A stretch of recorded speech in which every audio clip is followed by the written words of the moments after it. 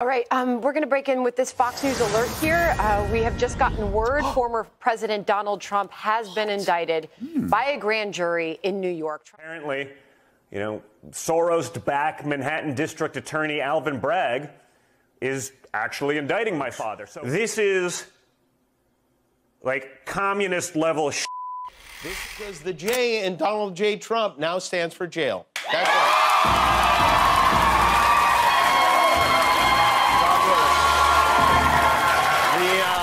interrupting this package right now because we have some breaking news, and it is historic news out of Lower Manhattan right now. A federal jury, a grand jury, has voted to indict former President Trump. The first time ever that a former president has been criminally charged.